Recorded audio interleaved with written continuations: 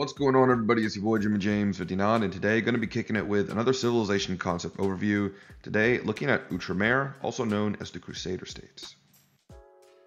We have the standard fare for you when it comes to civilization overviews, going to do a deep dive here. I'll also include some arguments for and against including the Civ, some maybe higher level civilization ideas like strategies, strengths and weaknesses, and I'll also talk about some ideas that I thought of but just didn't really work for the Civ before I conclude.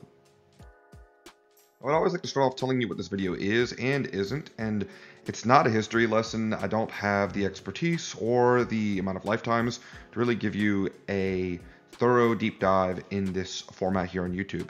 Now, what I can do though is help us think about whether it would be a cool thing to have the Crusader states in Age of Empires 2. Can we make it a good civ that'd be balanced, fun to play, etc. In addition to that, this video is actually coming out at a time when two other YouTube channels are putting out Outremer Civilization concepts, and that would be Robby Lava and Iron Kaiser Gaming. Basically, we kind of all realized by accident that we were working on an Outremer Civ concept, and we wanted to put them out at the same time. And what I want to do is actually encourage you to take a look at all three of them. As of this recording, I really haven't seen their videos, and I don't really know their designs, but I can tell you that I really think it will be worth your while to check out those two guys. In part because I think that Iron Kaiser does a really nice job uh, bringing to life the history of a civilization, and that would be something really exciting to look forward to. Additionally, Robby has a lot of practice with game design, and I think he's kind of one of the OG civilization theory crafting guys on YouTube. He's a really heterodox thinker, really creative, and so uh, his design is probably going to look very different than either one of ours. And I will say for me, you know, if you watch my channel, you know I'm a lot more of a numbers guy. I really like to think about what a civilization's performance statistics look like, if it's balance, and essentially what it gets you. So I think that all three videos will be worth your time.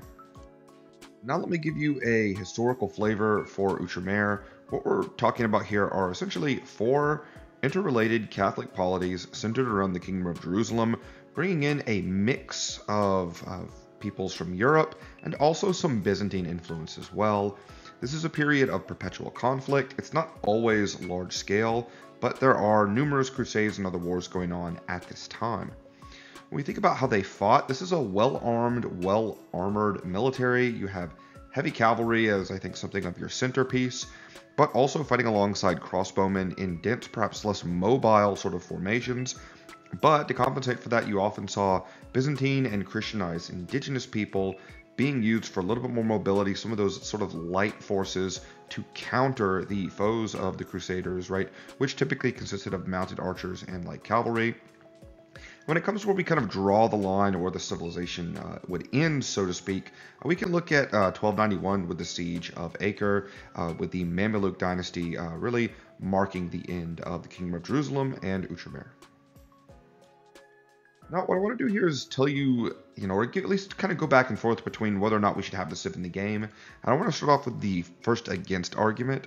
Outremer is not technically a people in this the way that at least Age of Empires 2 typically likes to use it, right? When we think about the Japanese, the Lithuanians, the Ethiopians, that sort of thing. Now, I think the counter argument here is that AoE 2 is, I think, pretty inconsistent in terms of what a civilization represents. Um, you know, we have AI leader names are often dynastic or military leaders that you know to which peoples may or may not have actually uh, you know been subject to or even accountable to in uh, in a sense that we would think about it in in a modern landscape. Additionally, Age of Empires has a lot of what I would call umbrella civs, where it's a lot of people's kind of smushed into one. Um, the best example of that was the Indians that got broken up into four different civilizations, and there's a lot of other civs in the game that people argue that that should happen to. So I think that the Forside says we could be a little charitable here. Now, another against argument is that we already have a lot of civs in the game that did participate in the Crusades, so why specify the Crusader states outright? Well, you can make the argument that this is a pretty unique time and place, and that the Crusader states themselves really do have their own unique identity and stories to tell. And probably the best evidence of that is that they're already in the game in other campaigns and scenarios. And so, for that reason, it might be nice to actually build out a proper civilization and be able to play them on the ladder. And the last thing I'd say here for is that when we think about the Crusades, the popular history is there, there's a lot of potential for this DLC to sell. I will say, as maybe somewhat of a caveat, I think you'd have to do it right. Um, you could have made this very same argument for, say, the Roman civilization. A lot of people know it. Um, but it hasn't really sold all that well, at least compared to some of the other DLCs. So, again, I don't think it's a lock, but I think if you do it right, the potential is really high. And at the end of the day, I, my verdict here is undecided. Um, I think the history would be cool, but we probably want to think about how the civilization is designed, how it would play out, and then go from there. So I'll jump back to this topic once we reach the end of the video, so stick around. Now let's talk about what the Civ would look like. Well, there's a few themes here. One, I think having a strong Frankish influence would be good, but we want to make sure that we just don't clone the Civ. Fortunately, we can borrow from a number of tech trees that would have sort of been present in the region at the time, and also maybe draw on some Byzantine influence as well. I see this a lot more as a heavy military civ that's really going to use uh, powerful units to gain an advantage and not so much winning based off their economy. Now, that doesn't mean we can't give them economic bonuses, but we might just have to be a little bit more creative or maybe give the uh, bonuses they do have that save resources, uh, make them a bit more situational so that you have to play in the military to utilize them. This also creates a challenge, right? We want the civilization to have strong units, but we want it to be competitive and yet also not overpowered. So we uh, we have our work cut out for us here. Now I want to get into these civilization bonuses. I'm going to rattle them off uh, in a summary fashion here, and then I'll cover each one individually. Outremer is classified as a cavalry and foot archer civilization, and the civilization bonuses are as follows. Berries last 60% longer and drop off 10% more food. Foot archers gain plus one melee armor in each age. You have free devotion and free hoardings. The paladin upgrade does not cost gold. And the team bonus foot archers have plus two line of sight. Let's get into your eco bonus here. Basically, what we want to do here is reflect this idea of uh, early on, initially, uh, you know, the Franks coming in, living off the land, and maybe bringing some of their survivability with them. Now, we can compare this bonus, I think, best with the Tatars, right? basically, Outremer is going to get about 100, excuse me, 570 food more. And we can look at the Tatar sheep bonus, which is giving you sort of a nominal plus 400 food, even though there's going to be a little bit of decay on those sheep. And then for each town center, you put up plus 200. So, you know, I think these bonuses are similar. The Tatar bonus is going to be giving you more food overall, but you can maybe get to that food a little bit earlier with Outremer. And what this does essentially is that it's going to boost your forager work rate because you're dropping off that 10% more food. This makes the gather rate slower than a hunter, but faster than a farmer. Now, there's a bit of a catch to this though, because one, remember, if you're saturating the berries, which is something you might want to do with the Civ, villagers are going to bump into one another. So that's going to lower the work rate quite a bit. But the bigger issue is that berries are not often or not always rather, in a position that's easy to defend. So you're going to want to make sure on a map, right? You know, you might be putting your villagers in a position where you need to say play more defensively, or maybe you play more offensively because sometimes that's your best defense. Now let's talk about your military bonus with foot archers gaining more melee armor. This does two things. One, it reflects some history here with the foot archer being pretty common, especially the crossbowman, in the Crusader armies, but it also helps us differentiate the civilization from the Franks, and that now we have a bonus incentivizing an archer opening, which we don't really see with the Franks all that often. What does this do for you? Well, in the early game, this is a really nice bonus to be able to take on scouts, but remember, it's just melee armor, so you're still going to be suffering the same fate versus skirmishers. In the mid game and the late game versus knights, you're surviving an extra hit. And when it comes to camels, you're surviving maybe another hit or two more. And that makes a lot of sense because Outremer's foes would have been civilizations that have access to camel in the game. So, uh, once again, we're baking a little bit more history into the bonuses. Now, coming up, we have the free devotion and free hoardings, right? This is going to reflect that religiosity as well as the fact that Crusader castles were a really important part of Outremer's military strategy. So, what's this going to give you? Well, this is going to help you make knights in the mid game. It's not perfect, right? Your knights can still be converted, but it's going to give you a little extra breathing room. And when it comes to the late game, right, um, does not have the best economy. So free hoardings is going to mean that if you fall behind a little bit going to the Imperial Age and you are literally under siege, getting that free hoardings might help you keep that castle up and help you kind of come back into the game by having that durability, keeping map control, and perhaps you can push back some of those enemy trebuchets and win the Treb War. And the last Civ bonus is that the Paladin upgrade doesn't cost gold. What we want to do here is really make sure that the civilization is themed towards heavy cavalry, especially in the late game. And I think that this bonus does just that. It also gives us one of those situational, kind of indirect economic bonuses. Knights are not always the play in your strategy, but we do want to make sure that, hey, situationally, if knights are what you're going for, we have a nice route to get there. Now, the upgrade's still going to be expensive because the Paladin upgrade costs a lot of food but I think the biggest issue actually is the fact that, and I think this is actually under discussed in some cases where we focus a lot on the research cost of the Paladin upgrade. I actually think it's the research time that's probably the most salient here because what that does is it gives your enemy time to mass counter units. And while Paladin is being researched, you typically are not trying to trade a lot of heavy cavalry units, so you're not fighting. You're usually waiting for that research uh, for that upgrade to come in, and that is just going to give your enemy more time actually. And so oftentimes what happens is by the time you get Paladin in, your enemy has actually created a lot of halberdiers or a lot of heavy camel riders, and sometimes that means that Paladin doesn't wind up being the, the best investment. Also remember that the Cavalier upgrade is still going to cost gold. Taking a look at the team bonus here, Foot Archer's having more line of sight. What I want to do here is incentivize players not just to open with archers, but also keep archers in the army to fight alongside heavy cavalry. And one of the ways I'm going to do that here is make it a little different than the old Magyar bonus because I'm also going to include skirmishers.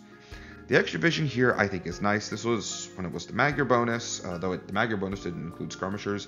I always thought this was one of the most underrated. The extra vision really is nice for catching enemy units on your line of sight, maybe villagers trying to get away, and sometimes it can even help you prevent towers because those if they're coming up outside your line of sight and you don't see it, you can't stop it, and that can slow a push down really fast. Additionally, this might be more of a low to intermediate sort of a uh, uh, benefit, but just being able to see those mangonels a little bit earlier so that you can you decide if you want to run away, decide if you want to do split micro, that kind of thing can be pretty good as well. And I would just say I think the value of information in Age of Empires 2, it's difficult to quantify, but it's really valuable, and this is going to help you. Now, when it comes to the unique units for the civilization, we can start off with what I think is going to be one of the bread and butter units for you, and that's the Templar. It's a heavy infantry unit that has a pretty decent cost, both in its unit cost and its upgrade. But for that, you're getting 75 HP in the regular version, 85 in the elite, 11 and 13 attack, so the same attack as a champion, but we're going to talk about some bonuses here in a sec. Your melee armor is pretty good. You can get 3 in the elite version, but have a base of 2 in the regular. Pierce armor as well. You can get that third base pierce armor when you research the elite. That is a really nice reason to upgrade this unit.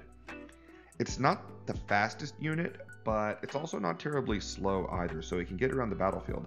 Now the bonus here is that the unit's attack increases in the presence of enemy military units, plus 1 per 7 units to a max of plus 4. And you also have a little bit of bonus damage versus Eagle Warriors, but now let's talk about their bonus. So what we want to reflect here is the fact that Templars were often outnumbered, and you know they fought with a lot of religious zeal and piety, and so we want to try and build that bonus in so that they actually fight better when they're outnumbered. This is a mechanic that, of course, is similar to the Monaspa in Age of Empires 2, which gives units extra attack based on having uh, allied Monaspa and knights alongside them. But I think it's actually more balanced. The Monaspa mechanic winds up snowballing really hard because in Age of Empires 2, small advantages often lead to big advantages. But for the Templar, what this means is that as you're winning and you know getting an advantage over your enemy, you'll start losing some of those performance stats as your enemy's numbers go down. And so I think that that just probably reduces the uh, acceleration of that snowball effect. Now, what does the Templar give you? Well, it gives you a strong and durable unit, but it's kind of expensive. And that elite version, right, that 7 Pierce Armor is really nice, but you got to get there. What this means is that when you're up against not a whole lot of opponents on the other side, it's going to be a worthy unit to research, but it's also probably going to be weaker than some of the other infantry unique units we think about. Now, once the battlefield right gets a little bit bigger, your opponent has a bigger army. Now you're probably only using to losing to those, you know, super strong melee units, especially ones that are doing uh, anti-infantry or anti-unique unit damage. Now, because right, you know, those are probably not the best fights. That does mean that your bonus, right, you'll be a little bit more outnumbered, right? Your attack should remain high, and so I actually think Templars will probably perform a little better than folks might think. And what I want to do here is compare the Templars with I think two similar units, the Teutonic Knights and the Sergeants, based on you know some categories in terms of performance stats. Think about where they rank, basically just to show that I think that the unit is well balanced here. So when it comes to melee damage, right, the Teutonic Knight is number one, but the Templar can, if you are up against a really big army, match that. When it comes to HP, the Templar is right in the middle, uh, really tying actually with the Sergeant, but the Teutonic Knight is going to take the cake there. When it comes to melee armor, right, both Sergeants and Teutonic Knights are going to have more. When it comes to Pierce armor, right, Sergeants are going to lead the way in that, but if you can get to the elite version of the Templar, you'll actually have one more Pierce armor than a Teutonic Knight. When it comes to speed, this is what the Templar is really cooking up for us here. It's definitely faster than both Teutonic Knights and Sergeants. When it comes to the unit cost, it's right in the middle. And when it comes to the upgrade cost, it's actually the most expensive. So what do we have here, right? Teutonic Knights, if you were looking for a unit just to get in there and fight, might be what you would go for. Sergeants, on the other hand, are going to give you more durability. But it's not like Templars are any are bad in those particular areas. They're just kind of in the middle usually between those two units. Additionally, right, the elite upgrade is really crucial for Templars.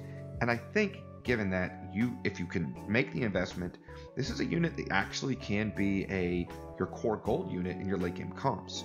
It's also the case when I talk about the technology tree. I will also show you that Outremer is a bit more reliant on Templars versus uh, the Teutons and Sicilians, which can make both can make fully upgraded champions, even with some bonuses. Now, that's not all when it comes to unique units, right? We also have the Turcopolier.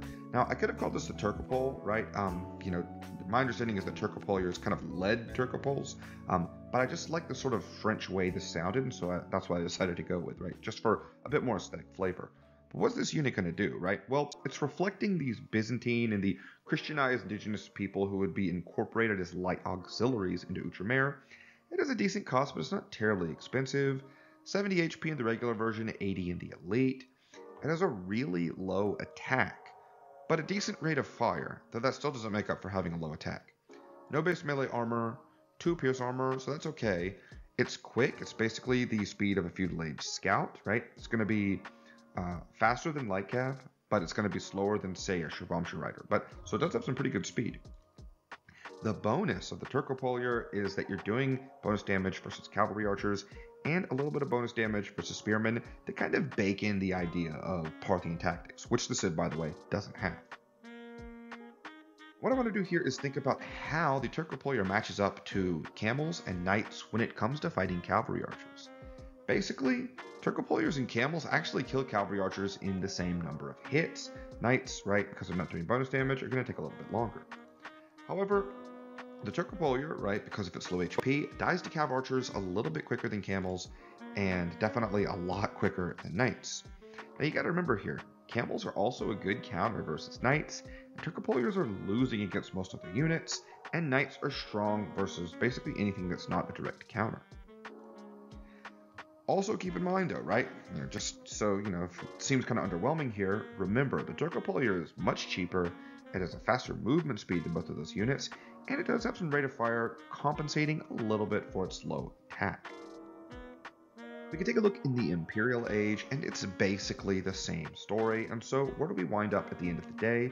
Is that we have a nice unit that's maybe a bit ultra specialized, right, versus cav archers, but it's not going to be a bad raiding unit. You probably don't want to send them to town centers.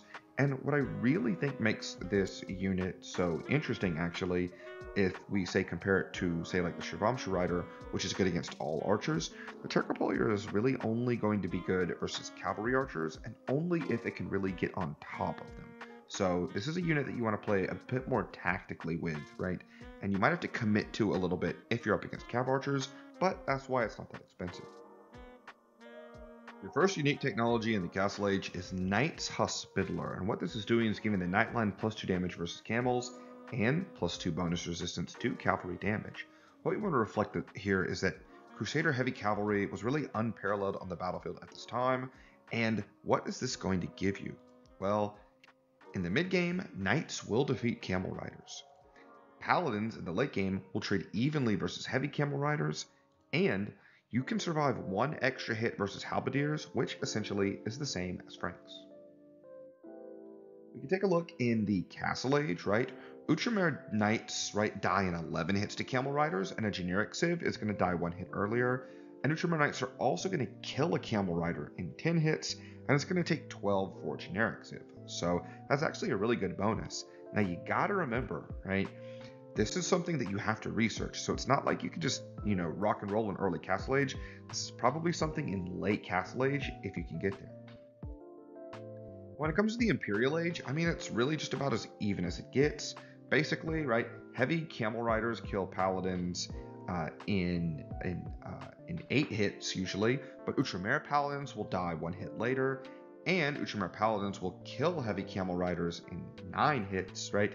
And usually it takes once again uh, 10 hits overall for a, a paladin uh, typically. So that really just makes it a purely even fight that we have here, right?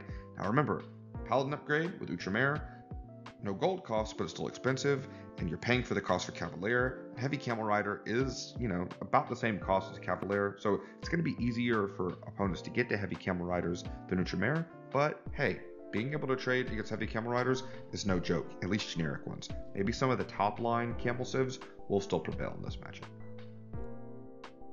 Alright, now I want to talk about the Imperial Age, and that's our technology Curia Regis. and what it does is that it lets your non-siege land military units refund some of their gold cost, gold cost when they die, and the amount of that refund is dependent on how many relics you have collected, right? Basically, topping out at 5 relics, and that's 25% of a refund.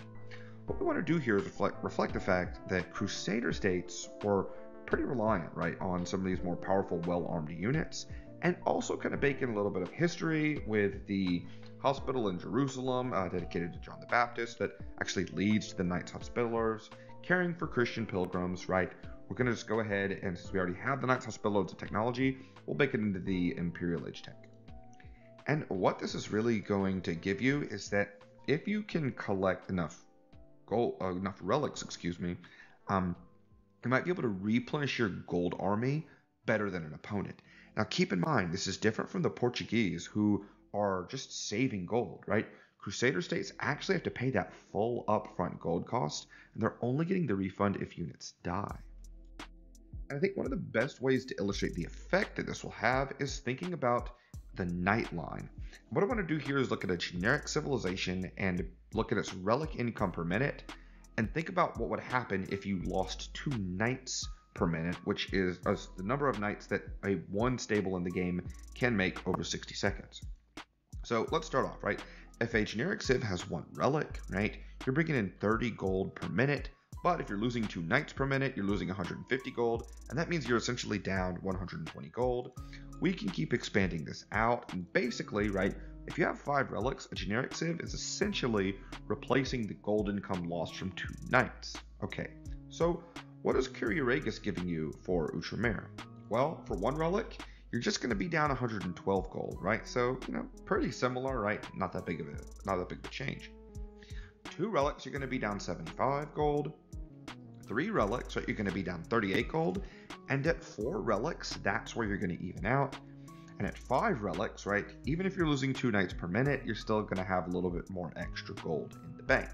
So really what this is doing, right, it's essentially moving up the replacement rate for the gold income lost from two knights at that point. to four relics instead of five. Now remember, I can't emphasize this enough. You still have to pay full cost for units when you train them. So if you wind up not losing those units, you're not getting that refund. So this is really helping you out in those scenarios when you're finding yourself in a more pitched battle condition and you're having to trade lots of units on the battlefield. Now that we've talked about what makes the Civ unique, let's think about how their technology tree is organized. And yes, this is a foot archer civilization, right? Because we have a number of bonuses there, but your foot archers will, because you missed the last armor upgrade, lose versus generic fully upgraded versions, right? So the foot archers for Outremer, right, I think are strongest in the early and middle stages of the game. They're still going to be strong in the later stages as long as they're not up against maybe top tier archer civs. You're gaining that melee armor, so in the end you top out being plus two versus a generic civ, and you also have that line of sight. When it comes to the barracks, it's okay, right? However, you are missing supplies and champions, and the logic here, right, is we want to factor in the fact that Crusader states did not always receive reinforcements at the best rate, and this is a, a, a, sort of military that could be difficult to sustain. Additionally, when it comes to gameplay, we want to see Templars in the battlefield, right? So this is going to help us get there. But keep in mind, you do have Halberdiers that are fully upgraded, which is nice. It's mainly done for balance purposes. Here, uh, basically every Paladin Civ has Halberdier, Heavy Camel, and as you'll see, the Civilization doesn't have Heavy Camel, so giving them a Halberdier I think is justified and talking about the stable now, right? You're really pushed towards the Knightline. You get all the upgrades. You have unique technologies that definitely, you know, could benefit you there. And you're incentivized with the uh, no gold cost in the Paladin upgrade to really go ahead, right? Burn that food, research that unit. Now, you do have light cavalry that are okay. You have plus four armor and bloodline, so that's good, but there's no hussar, so definitely not top tier. And additionally, don't forget about the Turcopolier, right? If your opponent wants to make cavalry archers, you have a nice unit, but you know, keep in mind it's pretty weak versus a lot of uh, other kind of units. So you're gonna want to think about how you defend it when your opponent then decides to counter that unit. When it comes to siege, um, I think I would best describe it as that you have some options, but no real power. No bombard cannon, siege onager, and siege engineers is also not there. This is a civilization that really wants to fight army v army. When it comes to the dock, well, you know, I had a little bit of struggle with this one. Crusader navies definitely had victories, but you have a lot of outside support coming in. So what I decided to do was basically give them a pretty open tech tree, though keep in mind, uh, no elite cannon galleon and no heavy demo ship, right? And so this will be a civ that you won't mind playing it if you random into it, say on islands in the ladder, but if you're say in a tournament and you're you know you're up against you're going to be a really strong Navy Civ, you probably want to pick something else. And also keep in mind Curia Regis doesn't affect naval units. We look at the castle, it's pretty darn solid. Remember, free hoardings is going to help you in those treb wars, and you know if your economy causes you to get up a little later than your opponents, right? Maybe you can hold on a little bit while you're under siege. And yep, all the other upgrades are available, so this is pretty good. You got a good monastery, free devotion is nice, all the techs are there, and the university is only missing bombard cannon and siege engineers. So again, a lot of a uh, lot of nice defenses here. Keeps with the arrow slits will be nice, and heated shot will also help you with those crusader castles, uh, you know, defending at sea. The economy is not great, right? Um, again, trying to bake in the fact Crusader State's not exactly supplied very well, so uh, the no two-man saw, no crop rotation, but you do have your last mineral resources. The idea is, hey, given that the civilization pretty reliant on strong military units, and also we want to help you get those castles up. You're going to get those upgrades if you're willing to pay for them. Now that we've gone through the basics of the Civ, I want to think about the Crusader states on a bit of a higher level, and I'll start off with their strengths and weaknesses, and then move into their strategies. When it comes to strengths, you have very good heavy cavalry here with a lot of versatility, and you do have a pathway to make them more affordable. Additionally, the foot archers here, especially in the early to mid game, are going to be pretty solid. Nice castles, good monastery. You actually have, unlike the Franks, a nice counter to mounted archer units. The Navy's got some things to speak for it here as well. Sneaky team game civ when it comes to being on the pocket, maybe help counter some of those camel civilizations. And with the Templar, if you do need to go infantry, you have a unit that you can make. When it comes to the weaknesses, your economy is not very good. Yes, you have a bonus early, but your mid to late game is really rough. And while the Paladin upgrade not costing gold is nice, it really only helps you if A, you research Cavalier, and B, you're really committing to the Paladin upgrade, which is not always the case in the 1v1. And so remember, it's still going to be a lot of food you have to spend and take a long time to research. Additionally, Curia Regis, right, is pretty situational as a unique late game tech. Also remember your cavalry is still countered pretty well by spears. Again, it's going to be a little bit better than a generic civ, right? Because uh, similar to the Franks, and again, reflecting sort of Frankish influence, right? You're going to be able to take that one extra hit versus Halberdiers. And remember that Knights Hospitaller is also only letting your Paladins trade evenly versus Camel Civs. So top tier Camel Civs are still going to win those matchups. This, additionally, you got to keep in keep in mind your light cavalry decent, but it's still missing upgrades in terms of SAR. Your foot archers, while they're good in the late game, will lose to their fully upgraded counterparts. Mounted archers probably don't even go there.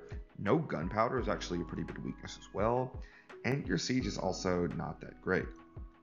Additionally, right, remember you don't have champion and you don't have supplies, so even two-handed swordsman might be something you don't want to make. So it's going to be, if you need infantry, tough to mass. You're pretty reliant on the Templars and those castles staying upright if that's the way you want to go. When it comes to strategies here, right, think about the early game. The Archer Rush is going to be pretty good. Something to keep in mind, though, is that in the current meta, mills are often delayed so that you can go up a little bit faster. And that's where your eco bonus is coming from. So you can go for a generic Dark Age and try to take advantage of that bonus maybe a bit more in the Feudal Age. On the other hand, you might go for a slightly slower archer opening, get more food, and gear upgrades faster. Additionally, I think scout rushing is still very much on the table. Yes, you don't really have any performance bonuses like the Franks with more HP, uh, but you know you are going to be able to get a little bit more food in there if you're willing to saturate those berries and you can defend them. When it comes to the mid game, you definitely have some options here. Knights with the free devotion, and even in late Castle Age, if you keep them alive, right? Knights Hospitaller can be pretty good.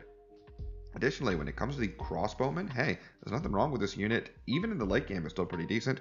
But in the mid game, right, you're going to have that plus two melee armor. And if you want to hit and run knights, you have a unit that could do that fairly decently. Also, remember, right, you have the Turcopolier, right? So if your opponent, you know, it's going to make cap archers, right, you have a unit that you can stick in there. Now in the late game, right, you know, Paladin plus some kind of ranged unit is going to be pretty good for you here. Um, you know, Curia Regis can help continuing to field double gold compositions, but only if your relic income is high enough. You're probably going to want either skirmishers or halbs in most cases, though. Additionally, Arbalest and Halberdier can be decent. Also, Arbalest and Light Cav isn't bad as well. Your opponent's skirmishers, because your Arbalists are missing that last armor upgrade, are going to be pretty effective. So, Light Cavalry is something you really might want to take into. And the last thing I'd say is Templar plus Halberdier could be good, but remember, uh, that composition is countered pretty hard by hand cannoneers because they're both infantry units. So you might want to think about adding in skirmishers, maybe, you know, some light cav unit. You know, you're going to have to just kind of think about what their unit comp is and go for it. So you do have some options, but you have to be careful. And kind of summing up the strategies here, I, want to talk about some civilizations that I think that Outremer is similar to, so we can kind of figure out maybe where they'd rank a little bit. And the first one I want to point you to are the Magyars, because both of these civs have a powerful military tech tree, but a limited economy as well. And the Magyars are a civilization that's got a lot more aggression early and a lot more mobility, whereas Outremer, right, you have a nice food economy for those scouts, but you're probably going to want to open archers if you're not opening scouts. Whereas some of the Magyars, you see men-at-arms to take advantage of free forging. Additionally, right, the Magyars have probably some of the best mounted archers in the game, and Outremer, on the other hand, is got a counter to mounted archers, so it's kind of two sides of the coin there. Magyar have uh, better trash units. Outremer, when it with Curia Regis, you're going to be able to possibly be able to replenish those gold intensive armies. So again, right, uh, this is you know kind of two different sides of the coin here. Additionally, it's worth keeping in mind that Outremer is using the old Magyar team bonus, but with the modification of also including skirmishers. Additionally, I think you can compare the civilization with the Franks, right? Both civilizations are centric on their heavy cavalry, and they have good castles. Now, Frankish Paladins have that population efficiency with the extra HP. When it comes to Outremer, right, you're going to be a little bit more cost efficient, right? So remember, now, Outremer Paladins will lose to Franks one on one, right? Because, hey, Knight's Hospitaller is not helping you there, and it's just generic in that capacity. But also remember, when it comes to cavalry, Outremer is going to have light cavalry that's a little bit better, and you have the Turcopolier. Additionally, the Franks have the throwing axemen and hand cannoneers to deal with spears. When it comes to Outremer, you're going to be relying a lot more on arbalists and skirmishers to fill that role in your army. When it comes to the infantry, Franks have fully upgraded champions, so you have a cost efficient and easy to mass unit in that capacity. When it comes to Outremer, you're going to be using Templars, which are more population efficient than champions, but more difficult to mass. Frankish castles are cheaper. Outremer has free hoardings, right, to try and survive that um, that early Imperial Age power spike, given that you might be up later than other civilizations because of your economy. And speaking of economy, the Franks do have a better economy, uh, but what Outremer have in their favor is perhaps more gold access in the post-Imperial Age. Now, you're not always going to have that, it's situational, but you might be able to, to get there, depending on how many relics you collect. Alright, now what I want to do is talk about some ideas that I just decided didn't fit the civilization. First, I thought about giving the scout line more HP per age. Uh, basically, instead of having the Turcopolier as a unique unit, I thought about building that into the light cav. However, I felt that that just was too similar to the Franks and Feudal Age, and it just didn't seem unique enough for me. And it's also the case that I thought that with the Archer bonus, that would just be too overpowered. I thought about making the Turcopolier a mounted archer, but I just kind of couldn't figure out how to balance it and also have it not look like a Genitor or a Camel Archer, essentially. I thought about the light cavalry specializing versus cavalry archer seemed good, as long as I could make it different than the Shrivamsha And I think the fact that the Shrivamsha is a more generalist anti-archer counter, whereas the Turcopolier is really specializing on cavalry archers, gives us enough of a, a distinct niche that the Turcopolier is filling. I thought about the Templar, maybe conceiving of it as a mounted option, but I didn't want to compete with the Knight line. And I also thought about a mechanic that could weaken the melee attack of your opponents. But I think that's incredibly difficult to balance, and I just preferred something that I could calculate a bit more easily. I thought about self-healing monks, um, but I, did, I knocked that one down pretty quickly because I think monks are already pretty strong, and that can become overpowered some more discarded ideas. I considered Curia Regis being a gold generation bonus. Um, I floated a few ideas, but it just seemed overpowered to me because I really think that the the economy for the Civ has to be one of the weaker ones in the game and a bit more situational, and it just felt too general. Free Heresy was something, but you know what? Heresy is a thousand gold, and that's way too much value. I thought about the Paladin skin somehow maybe changing to Crusader Knights, but I think you could just accomplish that with a mod. One of the ones I really want to actually take a little bit of time here is the civilization name itself, Outremer. Um, you could really go down a rabbit hole with this when you think about the etymology of it, but basically, when we use Outremer as a proper noun, it's a distinct and singular political identity.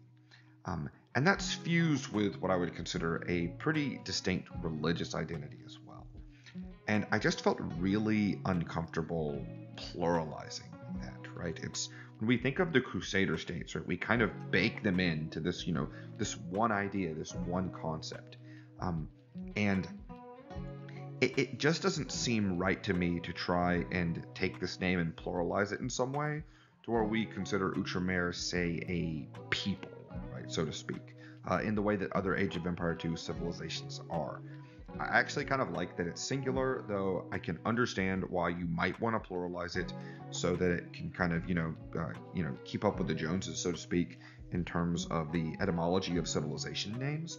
But for me, right, I think it just uh, it just feels right to just keep it Outremer. And that's it, folks. We've covered the Civ in great detail, so let's go ahead and summarize here. I think that Outremer would be a really fun Civ to play from a historical perspective, but I think also in terms of gameplay, we have a pretty unique design here. We have powerful military, and also one that's probably more versatile than you'd think. Now, this doesn't mean the civilization is good in all matchups, right? I think gunpowder civs are going to give you trouble. I think those really strong economy civs can maybe get ahead of you and snowball their advantage. I would also think, even though you have a nice anti-camel bonus in the Castle Age tech, top tier camel civs are still going to give you a run for your money. The question with Outremer though is going to be with your economy, right? Can you get to your powerful options given the fact that you don't have much of an early game economic bonus? Especially, I mean, hey, if you get pushed off berries, you're kind of donezo when it comes to uh, economic bonuses. You're going to be just generic. And your late game techs are very situational as well. So, again, right, can you get to those powerful units? Can you sustain that army? And for that reason, I think I like the balance here, right? Something that's interesting is here is you don't really even have any attack bonuses outside of unique units or technologies, right? Um, and you know you're really relying on durability, cost savings, that kind of thing, to be able to really try and keep those armies alive and also keep producing them, right? This is also right. You have nice, powerful options, but your traction is pretty mediocre as well, right? So I think Outremer is a civilization that you can struggle if you fall behind, but that's where a technology like free hoardings comes in because you know you can maybe try and hold on just a little bit longer to try to get those upgrades in. Now, I think in the end, this really kind of uh, contours well to this idea of you know crusaders trying to retake the Holy Land and having this real sense of urgency when it comes to doing so. So, this takes us to our ultimate question here. Should Outremer actually be in the game? Well, I think that this design does do a good job of blending history with gameplay. And for me, it actually becomes kind of an issue. So, when we think about Civs in Age of Empires 2 DE, you advance through the ages, right? Dark, Feudal, Castle Age, Imperial, right? This is how we typically play. And while I don't think it's the case that, you know, every Civ has to map exactly onto that format, I do think most or maybe all of the civilizations have some kind of growth trajectory that mirrors or at least is similar to kind of how civs go through the ages. And when it comes to Outremer, it's just a civ that I don't feel like has a sort of satisfactory uh, maturation in that way you have a lot of people coming from you know uh, from Europe, external already kind of developed environments, and a lot of inputs from abroad here. And so for that reason, I think while Outremer does have its own distinct political and religious identity, it really does just kind of feel like a two-century military operation, and that might be because it kind of resembles that. So I don't know if this is fair, right? Um, you could say that because of that, Outremer has less of an identity, but you also might say it actually has a more defined and concrete identity than other civilizations in Age of Empires 2. I like the history, I like the gameplay, I really do, right? You've watched this video. And yet at the same time, there's a part of me that can't help but feel like because of the fact that Outremer is such a unique, uh, a unique player in world history, I'm still not sure if it belongs in Age of Empires 2. So I'll leave that to you in the comment section, right? What do you think? Is this a civ that belongs in the game, or is this something that we should just, you know, kind of keep baked into all the other uh, European civs and uh, allow them to just sort of, you know, be resigned to campaigns and scenarios and never hit the ladder problem? And that's the video, right? Hope you really enjoyed it. I'll definitely encourage you to go check out Robby Lava, Iron Kaiser Gaming. In fact, I'm probably going to go to their videos right now and see what they're up to. So, hey, if I don't see you out there in the ladder, I'll definitely see you guys in their comment section. That being said, I'm Jimmy James 59, and I'm out. Peace.